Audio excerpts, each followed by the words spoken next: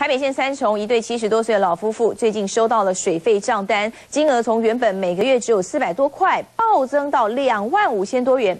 后来才知道，原来是污水处理工程进行的时候挖破了他们的水管，却算在他们的账上。邻居知道之后都笑他们，是不是家里头开了一座游泳池？阿妈像平时一样开水洗菜，准备开火。不过她怎么也没想到，这一期的水费账单居然从平时的四百多元暴涨到两万五千元。阿妈和先生拿着水费单，一脸无奈，因为平时没有收入，不管用水用电都很节俭。谁知道最近两个月的水费账单居然比平时高出六十倍，想哭出来！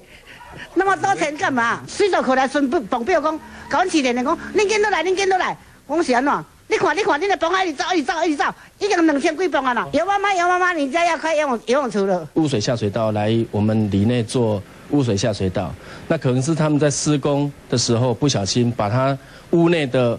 那个水水管打破了。原来水被暴涨的原因是污水下水道施工或天然气管线工程进行的时候挖破了水管，导致大量漏水。不过自来水处现在只愿意负担一半费用，有关单位又互踢皮球。现在还好有里长出来协调，不然市井小民面对这种难题真的是无可奈何。